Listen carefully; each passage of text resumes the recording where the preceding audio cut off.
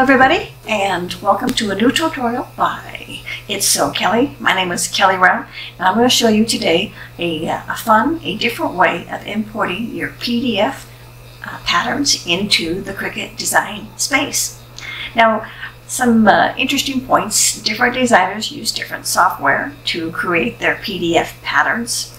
Um, some will uh, include what's called uh, curves, some will use just basic shapes. Everyone is going to be different and those differences will result in different results for you when you import them into Cricut. I have been doing this now for a couple of weeks and I have had about a 90% success rate at getting all the files that I want to work with into Cricut. So only a few have been troublesome and even when I say that, in theory, these pattern pieces that are designed for print to PDF, they're not meant for uh, SVG. And so I have no critique of the designer whatsoever, uh, but I'm just here to show you how to maybe simplify, simplify how you can use uh, these pattern pieces in Cricut, especially if you plan to cut them uh, more often than just once. So I personally, I anything that has a curved edge like this file here, I like it in Cricut. it always gives you a, a perfect edge. Um, I don't cut perfectly and uh, it's just fun. So all right, so you're going to need a few things. First of all, you're going to need this file and also a secondary file that I've created for you. They'll be available to you in the group files or I'll provide a, a download link at a later time. And you're going to need a free account to what's called cloudconvert.com. Again, you can have with that free account, you get 25 different conversions per day, which is way more than enough. And you'll also need to have your Cricut Space desktop application handy. So this tutorial is based on using a PC, desktop, um, so you'll have to know the commands from Mac, but I'm sure that will not be hard for you. And we're not going to do this on the iPad, so again, um, those might be different nuances for those uh, programs and those different applications, but for now, PC, desktop. So we are going to now go ahead and have these two PDFs that I have provided to you and have them available to you on your desktop. And we're going to open the first one, which is Kelly A in Cloud, in the uh, Cloud Convert. Okay, so close out of here, out here, and we'll open up our Cloud Convert, and we're going to hit Select File, and browse to where you have saved it and it's test file A. Open. You're going to convert it to a vector and SVG. And you're going to hit convert. When it's ready, it will show you its conversion. And you are going to go ahead and click the download button here and you may have different ways to get your download file. For me, I have to go to my download folder and get it from there. So I'm going to close out of here. I'll minimize this window. Go to here.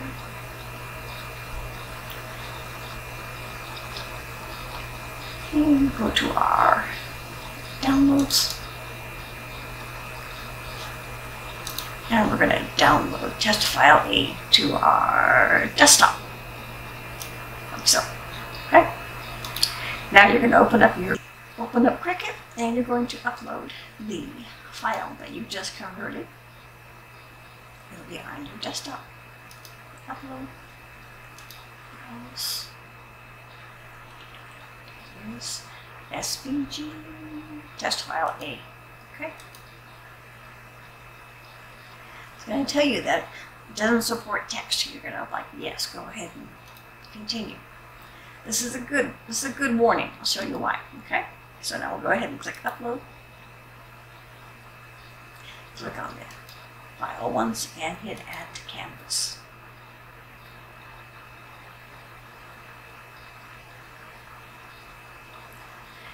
What's nice is, we'll go ahead and click on this image of this group here and ungroup it.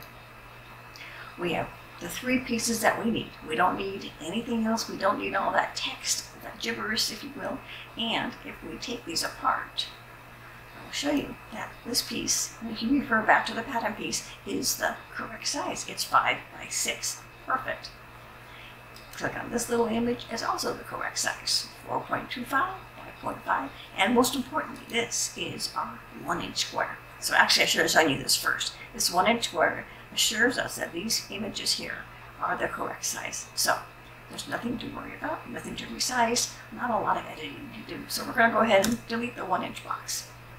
Now, I'm going to show you, because we can't, cannot cut on Cricut on the fold, we're going to duplicate this image. Right click, wherever you wish to do it. Duplicate it, bring it over here. We're going to flip it horizontally Let's change the color so we can see what we're working with. Doesn't matter the color. And we're going to just kind of bring them close by, as close as possible. Line them up. You may want to just zoom in a little bit so you can see if you're close enough. There shouldn't be a gap. And then you can go ahead and just bring them together. If you see up here that it says 10 inches like it does, that means that we have, it's, it's perfect. So just go ahead and now we're going to hit line top. And now you can see it is 10 by 6, which is the correct size of our pattern piece. And since we have them both selected, we can come over here in the bottom right and click the weld button. That makes them all one big happy family. We can reduce our screen size here. So this piece now is the exact accurate size as our pattern piece that we had in the PDF. Okay. And let's just make it a little bit less black. Okay, now we have this piece to work with. And this piece is our zipper window. Well, we know that it should be twice the width, so it should be eight and a half, and that the height is correct. So we're gonna turn off the little lock box here, and we're gonna come up here and change the width to 8.5. It's now the correct width. Okay, now the next thing is we're going to take our pattern piece and we're going to put it in the X and Y coordinates so that they are 0, 0. So that they are perfectly in the corner of the, of the uh, canvas. And we're going to bring our little zipper window piece thingy here.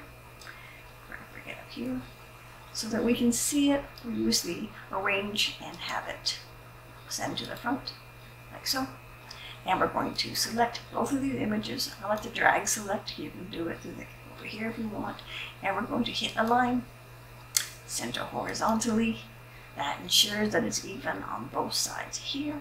And now we're going to make sure that it's in the right position going down. So we select, select this little, just a zipper window itself. And we're going to come over here to the Y and change that position to 1.75. Make sure you have the point in there. 1.75 and hit enter. Okay, so this is your pattern piece that you printed out, only now it's been uh, duplicated on the right. And the last step is to select all. We're going to hit slice, give it a chance to render.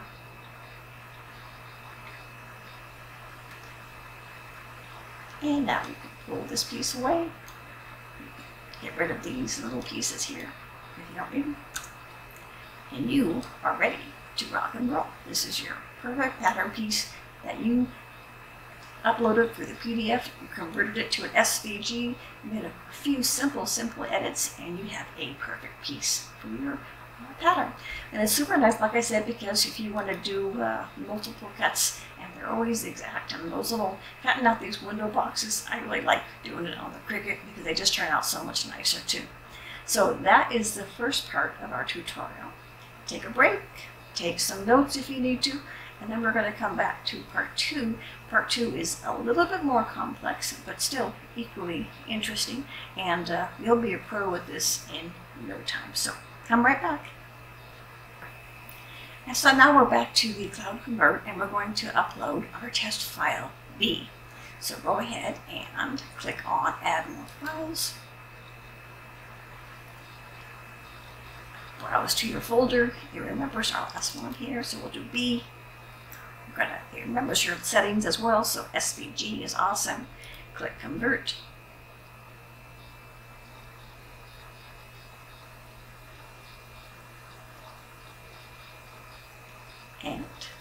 You'll see now, even though this is uh, test file B, it looks identical. But the difference is, is, and I will show you again, is that all of the text has been converted to curves.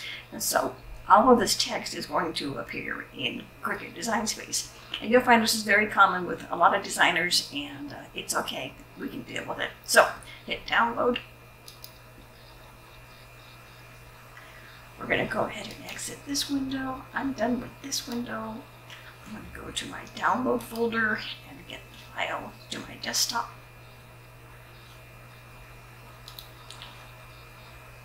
Ever so slowly. This is test file B to our desktop. Okay? And we're going to open up our Cricut. And we're going to do as we did before. We're going to upload, this time test file B.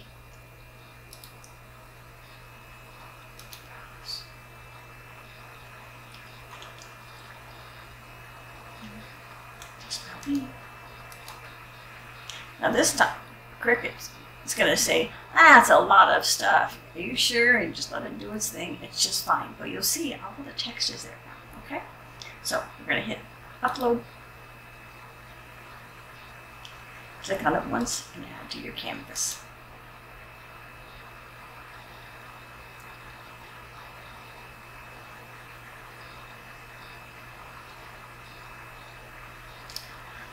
So what I have learned in my geeky days in these past couple of weeks is that when the text is converted and there are uh, images, or text outside of the pattern piece, it will distort or uh, make the pattern pieces not the correct size. But it's okay. We can handle it. So what we're going to do is we're going to remove all of the extraneous text that we don't need. So the first thing we're going to do is we're going to ungroup this And what we want to do is we want to pull away the big pieces that we need. We, that's not, not always as easy as it seems, but we can do it. So first we want to click this big piece. Call it a big piece, baby. Click this pattern piece over here, over here. And we want this piece. This is our zipper window. You can click on this size and you can see if you've got it if you got some underlying text, okay? And the last one we want is this little one inch box. Not one inch yet, and we're going to pull it aside. What you're going to end up sometimes is getting some of the text, so just be patient and try to get the box and not get the little text that's hidden there. And sometimes you get lucky and you get it right away, sometimes you don't. You can also get it through the, um, over here in this area and the layers. Um, I'm just going to keep on doing it to show you that even I have to do things sometimes twice and thrice. Okay, so wasn't so bad. It took us four tries to get the box. Okay. The rest of all this we do not need, so we're just going to use our mouse click. We're going to select all of that stuff, and we're going to hit delete. Okay. Now for the fun part. This to me is fun, but you know me, I'm geeky. We're going to take our pattern piece over here, which is not to size, and we're going to take our one inch box, which is not to size, and we're going to select both of these and group them. Okay? And now you're going to hide the larger pattern piece over here. This piece you're going to select and you're going to change in the size to one inch. And click, tab it over, and it'll change that to one inch as well. So now you have a correct one inch box and because you have it group with the other pattern piece, you can go ahead and view this one now. This pattern piece will, will ungroup. This pattern piece is now correctly 5 by 6. Look at you go! Okay, we don't need this 1 inch box anymore, and we don't need it for this zipper window box because that's just too simple to go to all that trouble. Okay, so here's our first piece here. Now, next thing is we have two. We know already know how to duplicate it. I'll go ahead and show you one more time. So just right click on it or however you do it in the Mac. Duplicate. Come over here and give it a different color so it's not so hard to look at. And we're going to flip it. Okay, remember, like we did before, we're going to join these two up as much as possible And they need to be needs to be 10 inches. If it's not, if it's too close, sometimes you want to zoom in a little bit to get a better accuracy of how you're doing this alignment. So, okay. And then again, select them. Close. I got the first time was better, huh? Let's zoom in a little bit more. That's okay. These things take time. Okay, so just go a tiny bit more, tiny bit more over. So, and then select them both. Close. My nose are gone.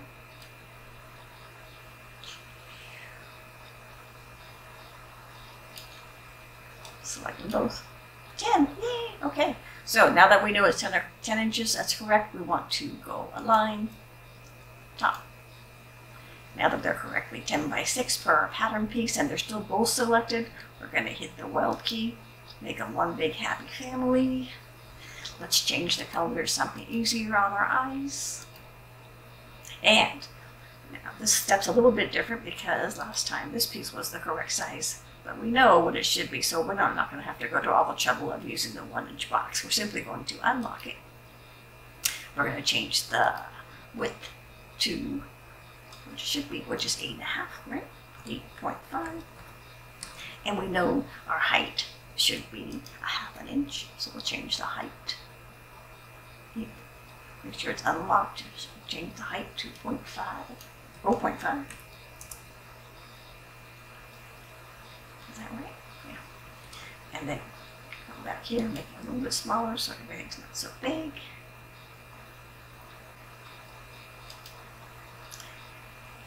this over here. Actually, canvas got away from us. It happens sometimes. Cricut's a little bit buggy sometimes, but that's okay. Now, just like we did before, we're going to position our pattern piece in the X and Y position of 0 and 0 so that we can actually do our correct math. And then we're going to bring our zipper window on top. So that we can see it, let's arrange this to the front. Okay, and we're going to select both. I'm Going to align horizontally, perfect on both sides. And now we're going to select the zipper window, change the position in the Y position to 1.75, hit enter. And just like before, select everything, hit the slice tool in the bottom right, let it render. Now you can pull away this piece. Delete these two pieces. And you have your perfect pattern piece. So that shows you basically there's two ways that a pattern piece can come into the uh, convert tool can come in as a, a regular file or as a file that's converted to curves. And ideally, it's the first one because then you don't have to mess around with all of the different uh, conversion of letters to different sizes. It will come into size. But if it comes in the other way, now you know how to fix it. So I'm going to show you in the next tutorial, but not this one, how to import an actual pattern piece. And in the coming days, I'm going to show you how to upload uh, pieces that may need to use the contour tool. But for now, I think this is a very good start for you, and um, I look forward to seeing what you can do with the information you've learned today. So have a great day. Bye.